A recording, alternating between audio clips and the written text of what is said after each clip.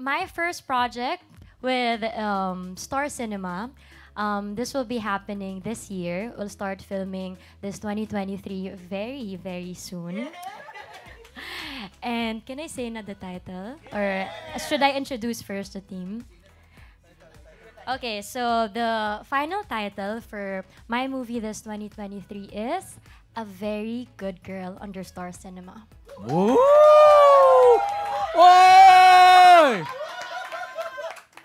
as you can see, oh my god, it's such an honor because I will be working, she agreed to work with me with the one and only Miss Dolly De Leon. Oh my god! Ang dami ko ng tanong, pero tuloy ka, tuloy sa kwento. Okay, so bago tayo mag-usap, MJ, I want to personally introduce the team behind this project. I'll start with our director. This is the first time I'll be working with him. Um, actually, okay, mamaya ko na kwento kung paano naging process and I personally picked him because I see Yeah! I see so much potential in him.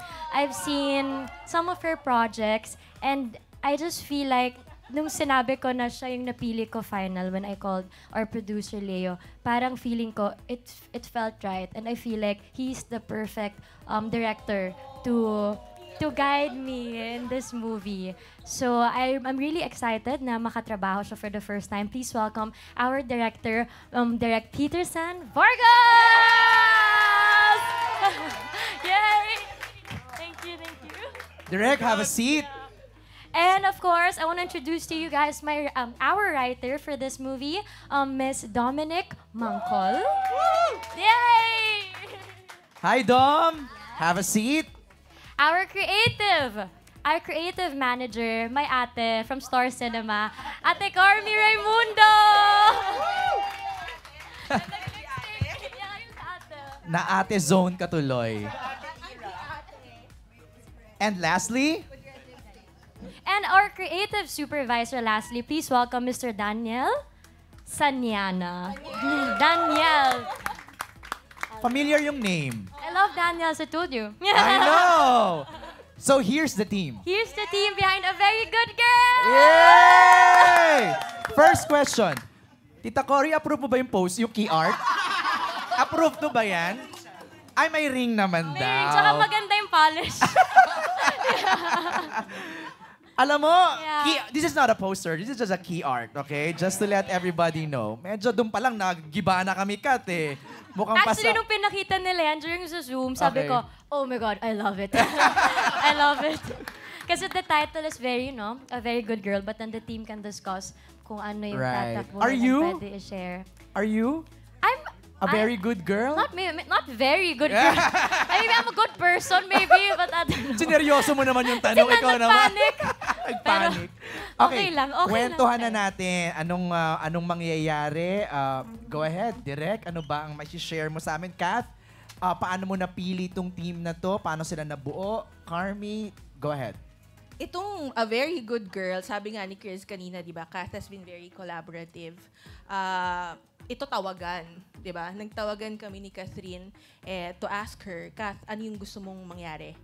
Tapos sinabi lang niya sa akin, parang, I want to do, I want to be able to experience mga emotions na hindi pa niya na-experience sa pelikula before. So, wow, di ba? Parang, let's go, let's do it. Let's go dark, let's go real, let's go anywhere, di ba, you want to go. So, we brainstormed.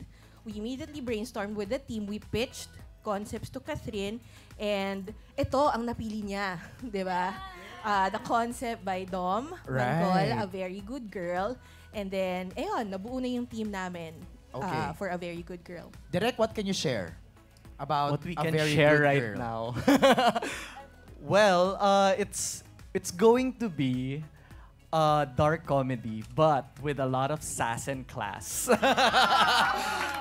yeah, so we want to serve lang this fantasy of, alam mo yun, representing this frustrated and powerless generation, pero through Katrine's character. So maraming aabangan. Powerless generation? May ganong ano, wow ah, na, naging interesado ako doon. Dom, ano naging inspirasyon mo naman sa material na to? Trip ko lang po. Trip ko lang. Hindi, I love it. Um, po talaga to para kay Kath. I mean, she's so young, but she's so talented. So I feel like she can pull off the eat the rich concept. It's very new. It's very brave, you know, going against the system. And it's so relevant right now, diba?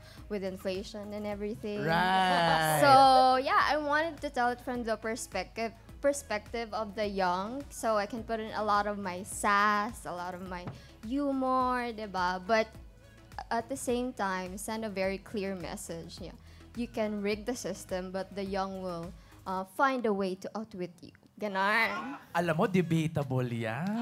Oo. Okay, let's Kasi debate minsan sa lang may na-encounter, saka na yon, sa press ko na yon.